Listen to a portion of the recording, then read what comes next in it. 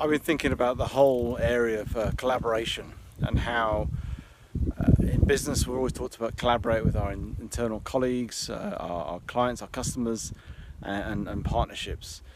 And I think it's a, it's a really positive thing. Um, but I think there's a bit more to it than just working together uh, in a collaborative way. Um, and I, I thought of a word I would just put before it, just to create a little bit more of a better emphasis and also a slightly different mindset change. And, and that word is, is synergistic. So, synergistic collaboration or synergy. And we know that synergy is the, the sum of the parts is greater than the individual components on their own.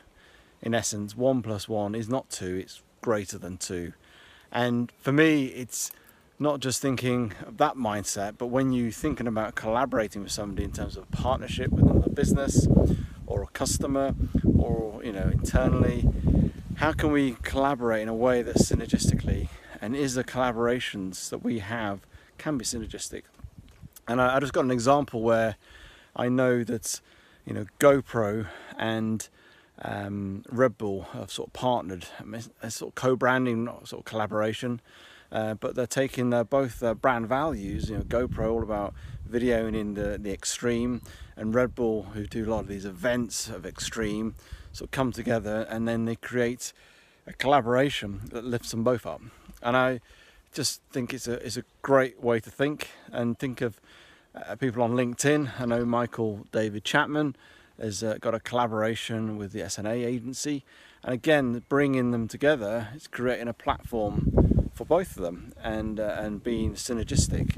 So, I'd encourage you be collaborative, be synergistically collaborative, uh, if you can say those words, and think of any collaborations you could have uh, with your partnerships uh, and your customers and clients, or even people on LinkedIn. Is there people on LinkedIn you think actually?